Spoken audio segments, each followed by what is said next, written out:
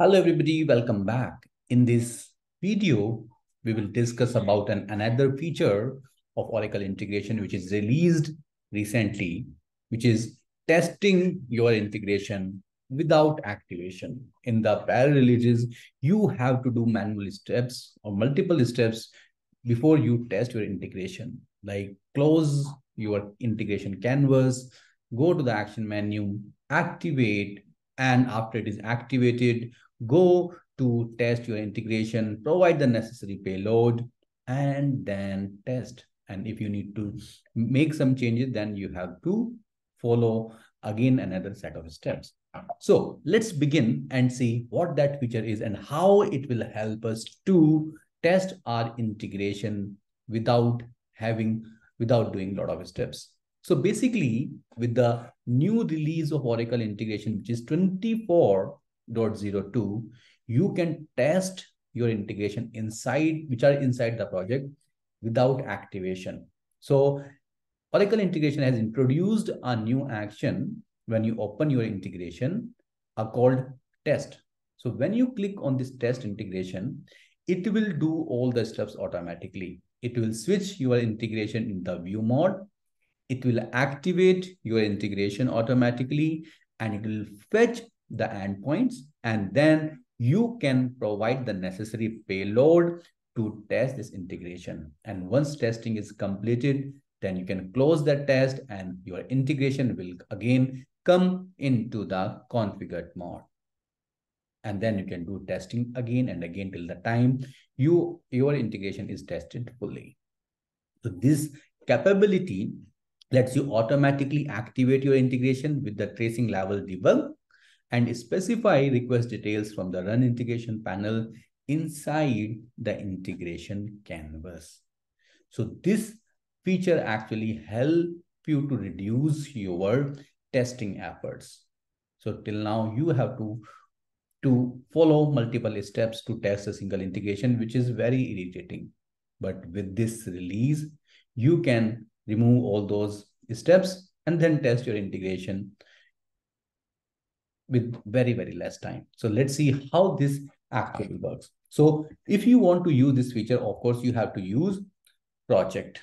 You cannot find that feature inside that integration that you create from the global area. So let's go to the projects. I already created one project. If you don't know how to create a project, you can follow my other videos to know how do we create project and what projects are.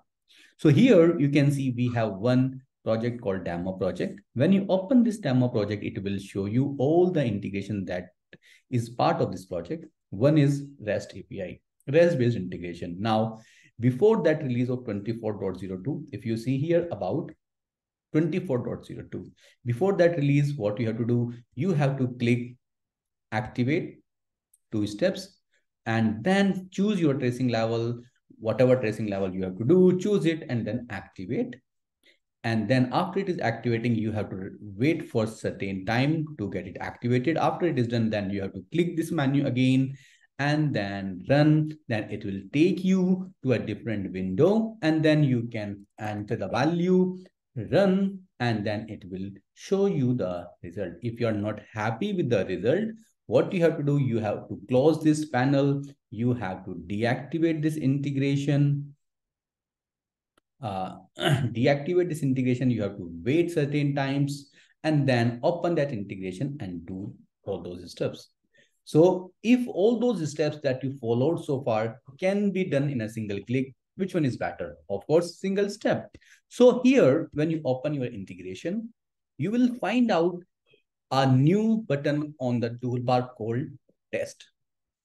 When you click on this and you can see my integration is a configured mode, meaning your integration should be in configured mode to make it enabled. So when you click on a test, you will see it is doing all the stuff automatically for you, switching to the view mode. It is activating your integration.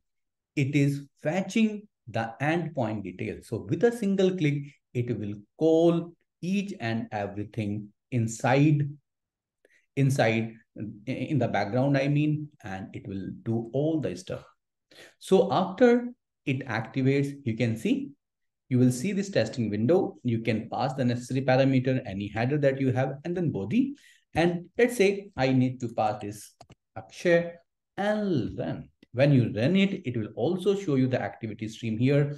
You see instance ID is generated, getting instance details, and you will find out the complete activity stream here. So let's wait a minute and not a minute, I guess few seconds, and you can see the activity stream has been generated.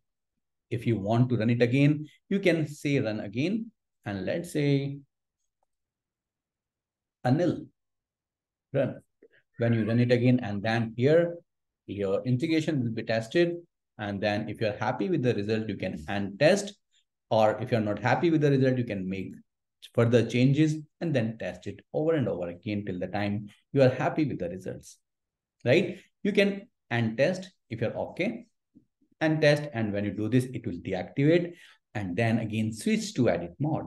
And then you can make further changes and then follow the same steps over and over again and test. And once integration is tested successfully, you can close it and then you can activate as you do manually, and then you can distribute the endpoint to any, any party who would like to do this integration test. So here you see, and you can close this. So this is how you can test your integration without doing all those steps, which actually reduces your development effort as well. Guys, I hope you find this feature very, very interesting. And Oracle also recommend to use project now, not the global area.